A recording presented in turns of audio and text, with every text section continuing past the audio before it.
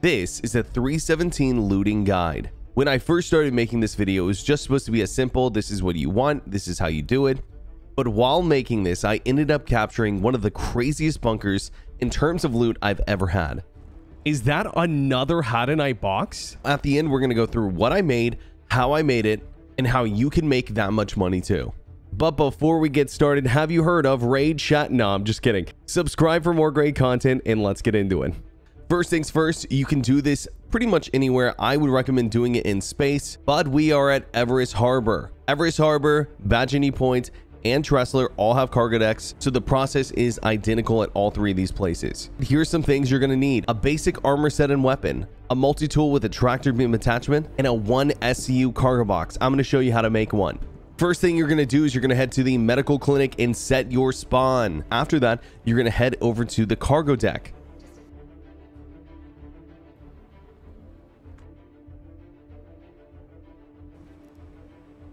Once you're at the console, click miscellaneous and you'll see they do have containers. These are not what you want. Under personal weapon, you're going to grab one multi-tool and one tractor beam attachment. After that, you're going to head over to undersuits and you're going to buy a beacon undersuit. After that, you're going to head over to armor and you're going to buy a horizon helmet and a backpack. Technically, you only need one, but I'm going to buy a few just in case. Now that we've wrapped up our shopping, we're going to head back to our hangers and habs and we're going to call out our Avenger Titan. Now there's lots of ships that you can do this in. So if you don't have a Titan, a Nomad, Cutty Black, etc., you might want to go watch my other guide on how to make money, which would be here at the top of the screen. So before we head out to our Titan, we're going to make sure the only thing we're wearing is the white undersuit and helmet. Now this is the important part. Once you're in your ship, you're going to use the local inventory to transfer a single backpack over to your Avenger Titan. Here in a minute, you're going to destroy your own ship. This is going to prompt the game to make a box out of the leftover loot that's on the ship. Because the backpack is too big for the small box, it will automatically put it in a 1 SCU box. I'm going to put two backpacks on just to be safe. Next step, you're going to head out of Armistice Zone. This is really important for two reasons. A, you don't want to give yourself crime stat. B, you want to make sure that box spawns, and sometimes it doesn't inside Armistice Zone. So we'll head out of the ship. If you'd like, you can take off the beacon undersuit. You can put it inside your ship, and this will be part of the loot box whenever you get back. Once out of the ship, we'll just hold backspace. This will reset us back to Everus Harbor. So we're going to head back to the ASOP terminal, and we're going to claim our Avenger Titan. Yes, you're going to claim the ship that's out there with your loot on it. Then we're going to go ahead and equip anything that we want on us at the bunker. Armor, weapons, medical, multi-tool. And with the multi-tool, make sure you are dragging the tractor beam attachment onto the multi-tool so it has one. If you want to double check and make sure the attachment's in there, you can hold F to interact with the multi-tool and go to customize. You'll see that the tractor beam attachment indeed is there. After that, we'll head out to our pad. And if you look up, you'll see that our ship and our body are still there. Next step, super simple. You're just going to blow up the ship. This will prompt the game to make the one SCU box. You'll see it right there. At this point, easy peasy, you'll just tractor beam it into the ship.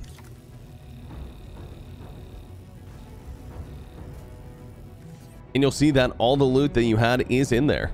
Next, I'm going to make a quick pit stop at Everus, drop off that loot so I have an empty box ready to put more stuff in. After that, we're going to be heading to Microtech. And you might be asking yourself, why Microtech? Well, these are the items you want to look out for. On the left side of the screen, you can see items that I've said are for selling, things such as weapons and gems. Gems being especially valuable. These are special gems that spawn in bunkers. The only place I've seen them spawn is at Microtech, in caves, and at Lyria. And then on the right side of the screen, these are items you don't need a million of. You'll only be looting them when you need them such as armor, ammo, multi-tools, knives. Once we're in Microtech, the mission you're looking for is Security Contractor Evaluation. This is going to be in Mercenary, and it's going to tell you to head to a bunker on Microtech. Keep in mind, once you land, there are two types of bunkers. These bunkers should be one turret, and in that case, what you're going to want to do is just land right behind the building. These turrets shouldn't shoot you, but to be safe, the turret can't see you here. If you happen to get a bunker that has four turrets, you're going to want to land somewhere completely outside of the turrets. There are no blind spots.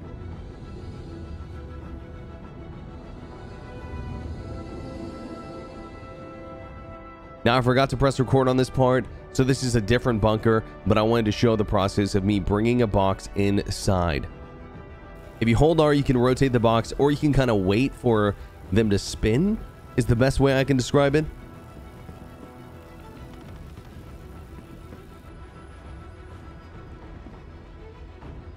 Once you're down in the bunker, you're going to want to move your box just a little bit in off the elevator and then go ahead and clear the bunker.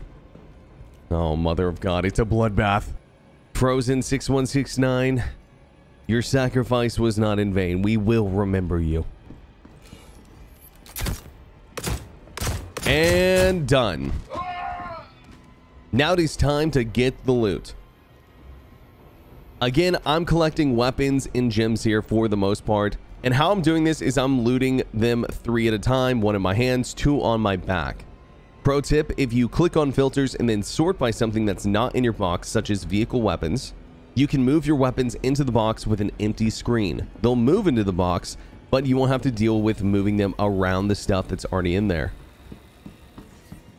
So I'm just going to work through here with the box, moving it closer and closer. That was until This is the jackpot. The white lockers are the ones that have the Hadanite in them. These 1370 USCU gems are exactly what you're looking for in these bunkers. These are the jackpot. So I'm going to go ahead and start the painful process of moving these over one by one. Now that I have carpal tunnel and I'm finished with that, I'm expecting to loot the rest of the bunker as normal. And I find a second Hadanite box. I did notice that these boxes happen to double spawn on top of each other, so make sure that you do open both of them. Then after that, I go ahead and just hit the rest of the bunker, every weapon chest, every medical supply, and I'm just going to fill my 1SCU box up as much as I can. And just as we're wrapped up, this happens. Whatever. Um, there's another one here. Another Hadanite crate. Are you serious? Uh-huh. Dude, this is like is that another Hadanite box? How many have we found so far? Four or five? Uh, one, two, three, four. At least four. I literally cannot wait to see how much all this sells for. So after we're wrapped up, we'll go ahead and take a peek on our way up. So at first when I was looking at this, I was a little bit confused. I thought the game had kind of deleted some of our weapons in Hadanite. And that's when I realized that this is only page one and that there is a second page of loot with more Hadanite and more weapons. So this is a absolutely massive haul for a single bunker. Here's the good news though, is if you don't get this much from a single bunker, you can hit a second bunker or until you feel like your looting desires are fulfilled. If you don't know how selling works, 50% is the minimum amount you can get for an item. 90% is the maximum amount, but you will get more selling the weapon to a shop that has those items we're going to go ahead and head to MIC-L1. The reason being is the best place to sell Hadanite is at the admin office and every station has one. The best place to sell weapons is at a weapon shop and MIC-L1 has one. Once at the station, the hardest part of the whole looting process begins, dumping the loot into the local inventory. It is a little bit tedious, but it's really not that hard at all.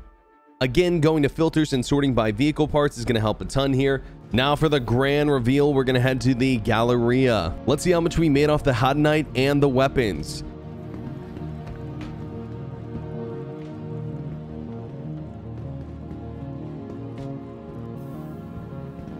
Okay, the Dolvine is selling for 33k, and I want you to guess how much the Hadanite is selling for. Uh, 100? 178,000. That's by far the most I've made off of a single bunker. Then we're going to one by one sell every weapon we have at the weapon shop. So let's go ahead and add up what we made. 15,000 for the original mission. Plus if you have Call to Arms on, that's going to be another 5,000. Then the Dolvine coming in at 33,800. The Hadanite selling for 178,000 then finally, all the weapons and the medical supplies selling for 76,400. That is going to leave us with a grand total of 308,950. For one bunker, that is not bad at all. And I want you to keep in mind, some of the higher tier bunkers pay up to 90k.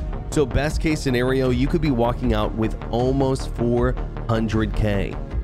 Now, before everyone gets up in arms or says this is unfair or OP, I would say with the time it takes, it's actually not the best way to make money, but it is a fun and cool, different way to make money. For doing some FPS missions in a spaceship game, I'd say that's not bad.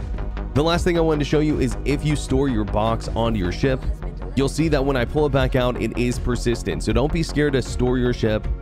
Don't be scared to log with your box.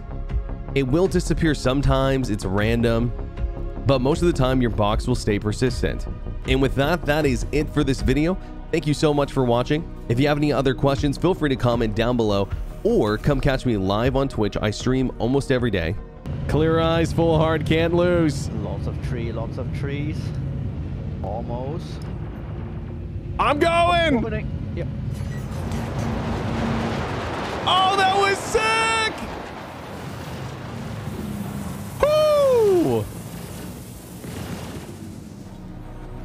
And with that, happy looting. Thank you again for watching. I will see you in the verse in 317. This is Captain Berks signing off.